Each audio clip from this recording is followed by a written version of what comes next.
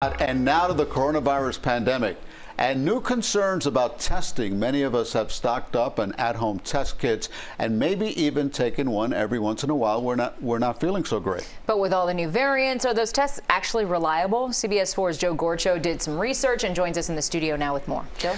Lauren Elliott, home COVID tests can provide a quick and usually accurate result, but one key component to an accurate result is the age of the test kit itself. Dr. Aileen Marty, an infectious disease expert, explains when it's time to toss a kit into the can and grab a newer one.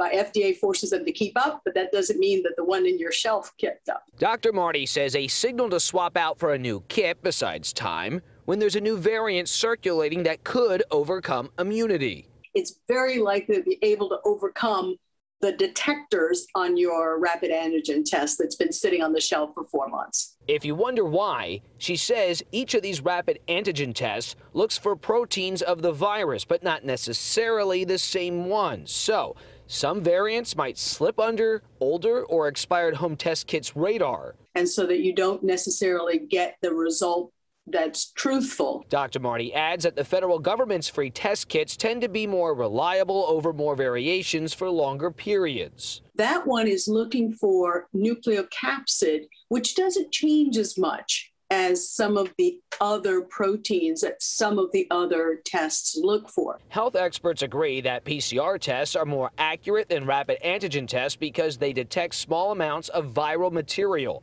If you're unsure if your at home test is up to date, you can go to a free COVID testing site locally. It's going to be a holiday weekend. It will be around people, like you said. And if you have the testing available, go ahead and use it. Daniel Asia is one of many we saw at Tropical Park taking an extra step to be safe before heading out of town to celebrate the 4th of July. Well, it's definitely important. I'm going with the family, kids, so you want to make sure you're safe and healthy. And even if you're not testing for COVID, be mindful of high respiratory illness activity in Florida. CDC data shows Florida is the lone state since May 18th with weekly high activity.